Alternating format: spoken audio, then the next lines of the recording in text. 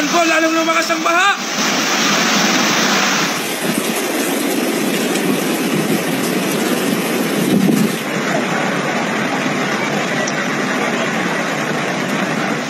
Grabe.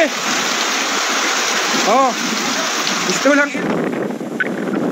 Catanduanes, Philippines, October 22, 2024. Mag-rescue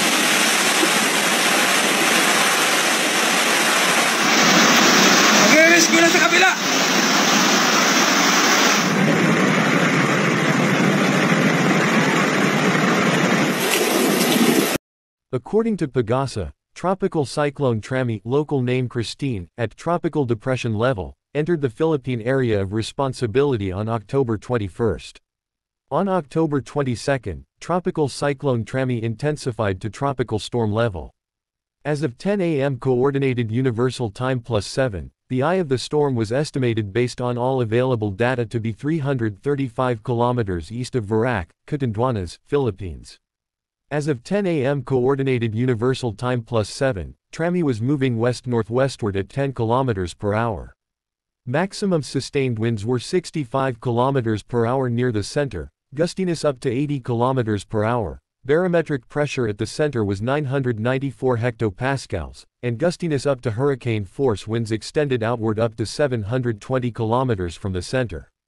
Trami is forecast to move northwestward until it makes landfall in Isabela or northern Aurora, Philippines, on the night of October 23 or early morning of October 24. Wala na, bubong na yung tubig.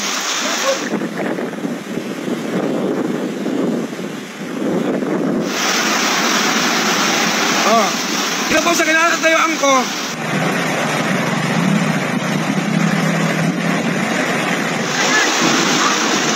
Lumakas ng lumakas.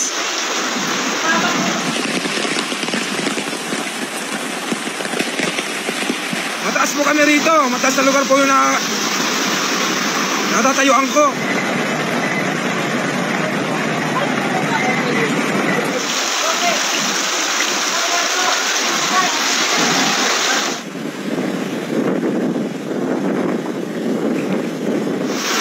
Yan po, sa baba po yan.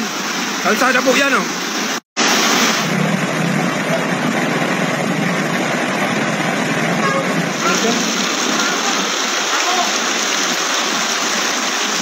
Trami will then cross the mountainous areas of northern Luzon and emerge over the waters west of Ilocos region in the afternoon or evening of October 24. Over the West Philippine Sea, Trami may attain typhoon category before leaving the Philippine Area of Responsibility PAR on October 25. Most of TCWS number 2 emerges over Catanduanes, Luzon. TCWS number 1 is spread over most of Luzon, Visayas Eastern Samar, Northern Samar, Samar, Leyte, Biliran, and Southern Leyte, in Mindanao, Dinagat and Surigao del Norte Islands including Siargao. Bucas Grande Group based on NDRRMC report on October 22 at 0700 hours UTC plus 7. A total of 8 seaports affected in Calabarzon A total of 81 cities municipalities are under class suspension in Calabarzon and Region 6. As of October 21 at 1600 hours UTC plus 7, the NDRRMOC alert level is at red immediate emergency response.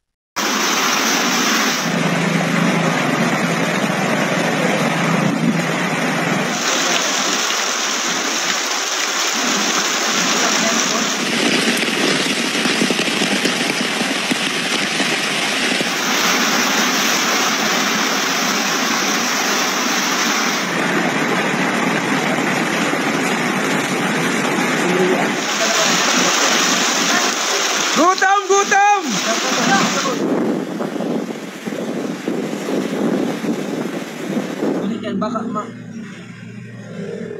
Gilid po, gilid!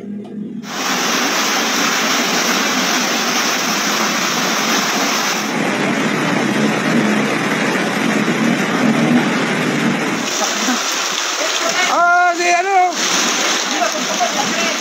NDRRMC has activated Charlie Protocol, the highest level of emergency preparedness and response, in seven regions CAR, regions 2, 3, 5, 8, Calabarzon, and Mimaropa, high-risk areas in case of emergency in response to the potential impact of TRAMI.